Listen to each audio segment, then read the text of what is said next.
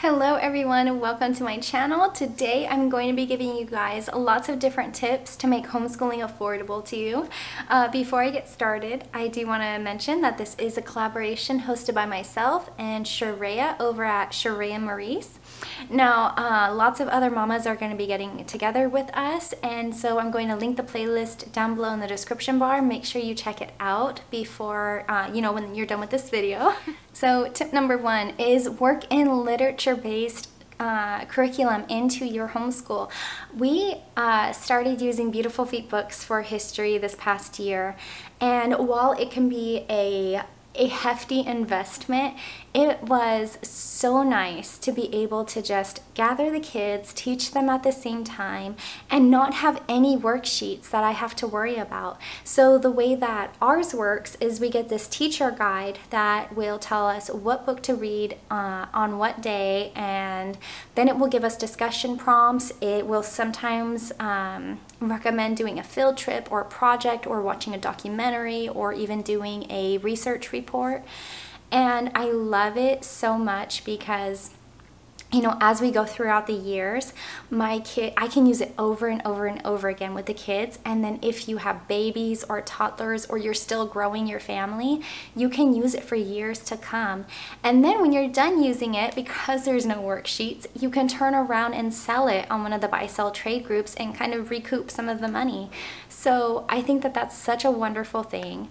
Uh, now I do know that quite a few of them are very pricey. Like for instance, I believe our Beautiful Feet books, uh, Early American History was about $250.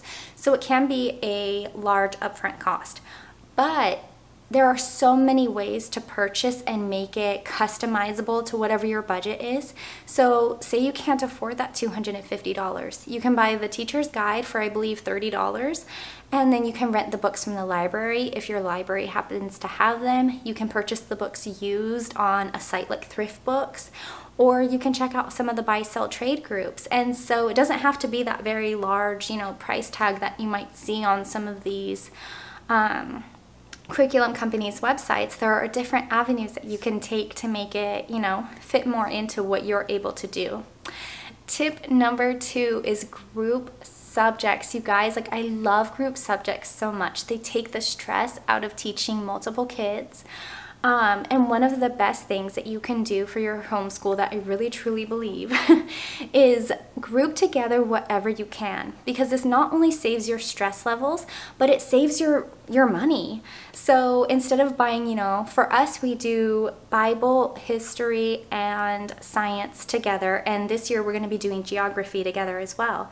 So instead of buying two different geography curriculums, you know, one for kindergarten and one for fourth grade, and then the same thing with science and history and Bible, that could get, you know, that could become a very hefty bill. So instead we group those together, and then it's less money that we have to spend, and also less time that I have to spend with each kid teaching a essentially the same thing but out of different workbooks. So that's a wonderful option for saving money.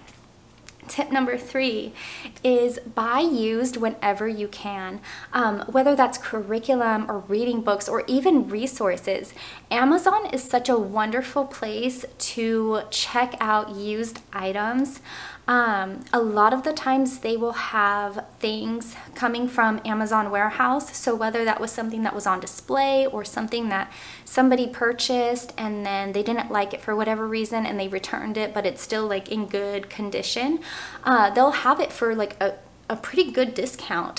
so whenever you're purchasing something, uh, check it out because it'll usually say like, you know, being sold for $15.99. And then below it, if it's coming from Amazon warehouse, it'll usually say like used for $8.99. So I've gotten a lot of our games and a lot of our books that way and it has saved us quite a lot of money. Now the only parameters that I have when I do this is that I always get like new or um, I think it's like a very good condition. So that way, you know, I can just make sure that whatever I am buying, it's coming in good condition and it's not like ripped or broken or, you know, highlighted all over the place, anything like that. So check out used whenever you can. And that goes for curriculums too, because not all curriculums are workbooks that you write in. So if you're using something like a textbook, then you can, um, you know, check and see if they have that for used and purchase something that you know, even if it's a little banged up, it's still, you know, in good condition, it's legible, and maybe it's something that saves you a significant amount of money. Tip number four is cashback apps. So the one that I really like is Rakuten. Uh, I'll link it down below in case you guys are interested in checking it out. It's not sponsored or anything. This is just something that has really helped us to save money and even earn a little bit of money. So the way it works is uh, say you you're going to make a purchase from Mel Science. You see if they're giving a cashback option on Rakuten, and then it takes you to the Mel Science website where you can purchase whatever you want. It doesn't change the price of anything. And if Mel Science is doing a separate like promo code, you can even use it when you check out.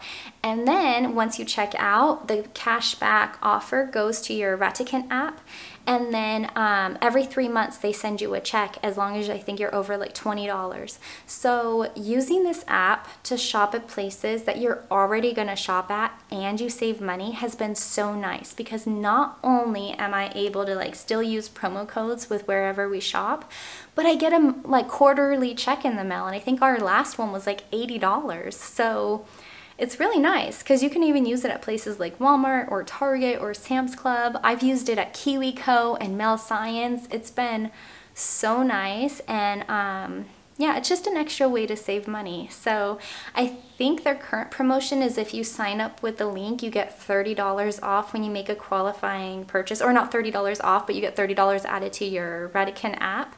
So check it out if you're interested and save some money. and tip number five is stick to a budget. You guys, I cannot stress this enough. Homeschooling does not have to be expensive. It's gonna be as cheap as you make it or as expensive as you make it. So maybe you're a one income family and you're thinking like, oh my goodness, I don't know how I'm gonna do this you don't have to do it expensive. If you go to a curriculum website and you see that before they even get down to the price, they're already saying like, oh, well, when you compare it to a daily cup of coffee at Starbucks, it's really this much money. Turn around and go. That's going to be super expensive. You don't have to go with that curriculum. Now, maybe that curriculum is going to be something that works out for your family. Maybe it won't be. Um, there's lots of wonderful used curriculum sites on Facebook and you can even get some sometimes on eBay or Amazon. So it's going to be as cheap or expensive as you make it. I hope that these tips have helped you. What tips have you found in you know, making your homeschool affordable for your family. I would love to hear it. You know, let's give each other some different tips down below. If you like this video, don't forget to give me a big thumbs up. Check out the playlist and hit that subscribe button. I'll see you again later. Bye.